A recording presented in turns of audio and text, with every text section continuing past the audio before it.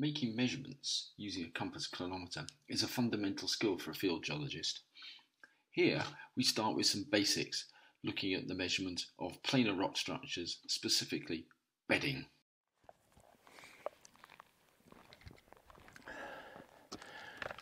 Well, the fundamental task when making a map or understanding the geology in general is the ability to measure structures, particularly bedding in this case. So let's go through how we do that using this rather nice bedding surface that lies in the landscape. And we'll do it just down there. Okay, so here's a really good piece of bedding in here. I've got my compass, I've got something to write with, and uh, my notebook there, which we'll record things into. Nice sunny surface on here, nice bedding plane. There's a few glaciated striations on here, but it's still the bedding plane nicely polished surface. Got my pencil ready to go and a notebook ready to write things down and my compass. So the first thing to do in here is to find a horizontal line on this surface, which is the strike.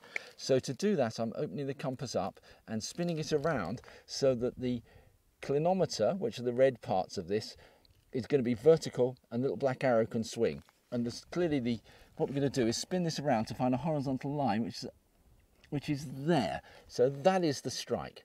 So now we spin the compass over like this. So the edge of the compass is parallel to strike and the compass bed itself is horizontal so the needle is free to swing. So whenever we measure bearings, the compass is always a flat plane and the bearing we're going to take is this long axis of the compass. So now spin the red arrow around, there's an outline arrow in there that sits underneath the magnetic arrow, and there we have it. We can read off the bearing here now, which is 342. So the strike is 342. We could record it as 162, it doesn't matter. I'm going to record it as 342. Okay, strike 342. Now to get the dip, we go back to Clino mode to get the red bits lined up again. That's east-west on the compass part. Okay, and now we're going to use the black arrow in here. So we line the compass up, so down the dip direction. The dip's the maximum inclination we can measure, which is 22 degrees. So it's 342, 22, that way, not into the face, but this way, which is east. So write that down. 342, 22, east. Let's get my notebook open in here. Bedding. 3, 4, 2, 22 east. And we've now measured the orientation of this plane.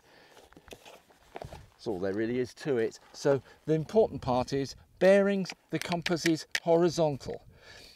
To get the inclination, when it's a clinometer, this is vertical and just rotates like that. And those are the two ways in which we use the compass for bearings or inclinations.